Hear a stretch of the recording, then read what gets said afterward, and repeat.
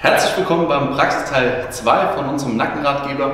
Heute geht es darum, mit einem Terraband die Rotatorenmanschette ein wenig zu mobilisieren. Das heißt, dieses nach vorne gefallene, ich zeige es gerade mal von der Seite, dieses nach vorne gefallene zu korrigieren, dass wir wieder in eine aufrechte, schöne, gerade Position kommen, wodurch wir auch wahrscheinlich einige Zentimeter wachsen werden. Wichtig ist, wir schnappen uns ein Terraband, umwickeln das einige Male um die Hand, so dass wir eine Grundspannung haben vor dem Körper. Mit den Händen können wir ein bisschen variieren vom Griff, entweder so Fäuste nach vorne oder wir öffnen die Handinnenflächen, dass sie nach oben zeigen. Wichtig ist, ich habe einen 90 Grad Winkel zwischen Unterarm und Oberarm. Die Oberarme sind fest am Körper und jetzt rotiere ich nach außen.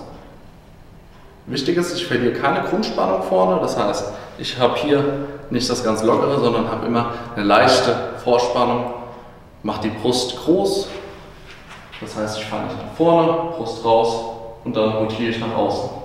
Das kann ich ruhig 20 bis 25 Mal machen.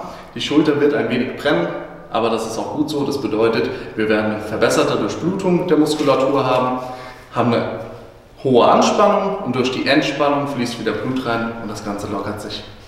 Ich hoffe, das Video hat euch gefallen und ihr macht es auf jeden Fall zu Hause nach. Und wenn es euch geholfen hat, würden wir uns über ein kleines Feedback freuen.